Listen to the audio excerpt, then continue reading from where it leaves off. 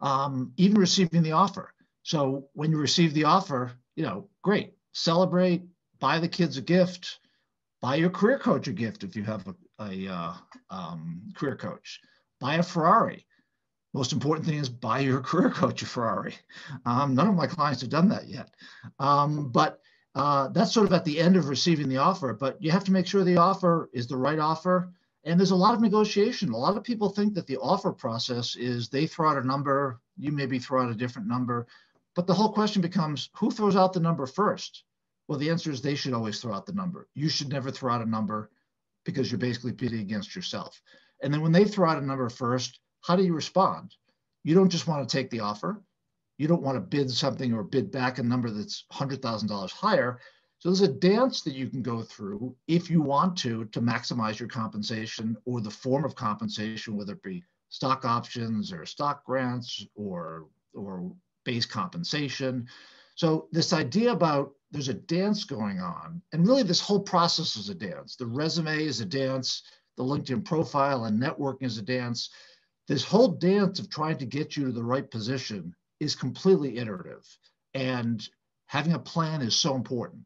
Um, workforce plans. You all set up workforce plans and you put timeframes associated with different plans. Sometimes those plans um, are shorter, sometimes they're longer. Many times you have to make adjustments. Well, that's really the same thing. So along this axis here, I simply represent that some of these activities will take weeks, some of them may take months, and then what you think may take months may take weeks or vice versa. So the idea that you have a plan, but you're constantly flexible in terms of updating your plan is just so important. So let's use maybe a couple of examples here. So um, in terms of overall planning, strategy could easily take zero to three months.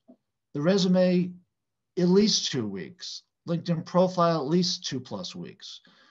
The question becomes, what can you do serially what can you do in parallel? Well, strategy, resume, and LinkedIn profile should really kind of be done in that order.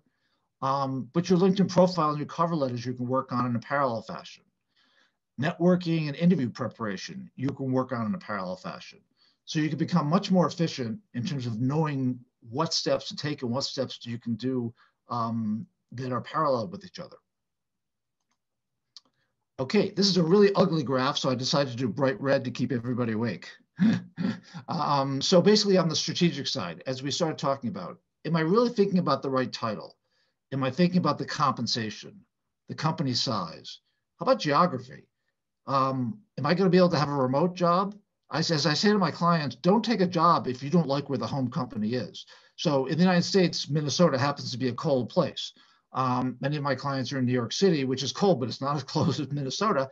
So I said to my clients, well, if the company's based in Minnesota, Minneapolis, one of the coldest places in the United States, if they tell you you can do a job remotely and the company's based in Minneapolis, Minnesota, something tells me they may want you in Minneapolis six months or a year from now after COVID's over. So I say to my clients, I'm not sure I would take a job. If you don't like cold weather, I'm not sure I would take a job in Minneapolis, even though they may promise you you may be able to work remotely. So you got to think about, well, six months or a year from now when COVID's over, what is that job really going to look like? Is this a job a means to an end? I have so many clients call me up and say, Mike, this is the job that I want. I know that they're never going to get that job because they're trying to jump three or four levels and they just don't have the right skill set for it. And frankly, I'm honest with them and tell them that. And I'll compare them to other clients that have more certifications, have different skill sets. Well, sometimes you want to take a job that may be a means to an end, um, not necessarily the job that you want at that point in time. So thinking about a job that will get you to the next job rather than just trying to maximize the money in front of you, that's something to really think about.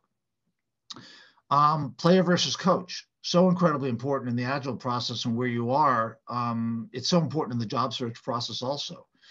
Um, and then you have the whole reputation issue about your manager and the company and the CTO's reputation.